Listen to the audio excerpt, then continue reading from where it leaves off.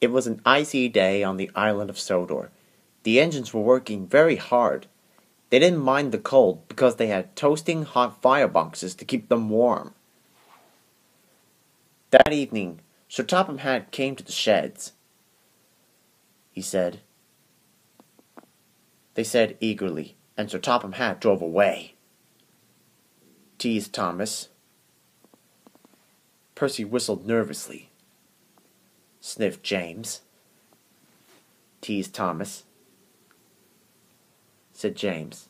James knew Jack Frost wasn't scary. Poor Percy wasn't so sure. Percy shivered. Meanwhile, James puffed along his route. He thought, all steamed up over Jack Frost. Percy made his last delivery. The station master was very pleased to see him. He cried. Percy said.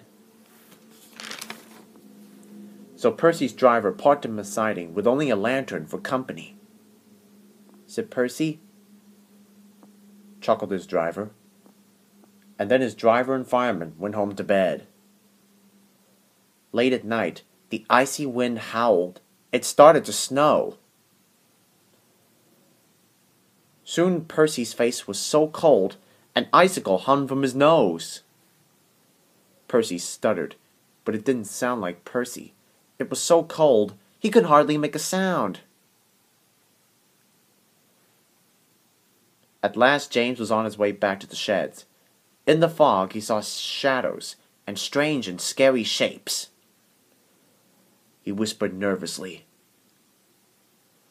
Muttered Percy icily. Cried James, and he raced away as fast as his wheels could carry him. He didn't stop until he got back to the sheds. The next morning, Elizabeth brought plenty of coal. Elizabeth chuffed to Percy. The firelighter started Percy's fire. Soon his ice mask melted away.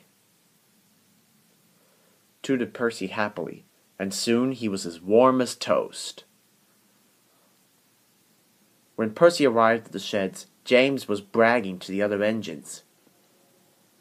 James huffed. Teased Percy, and all the engines whistled, including James, but Percy's was the loudest whistle of all.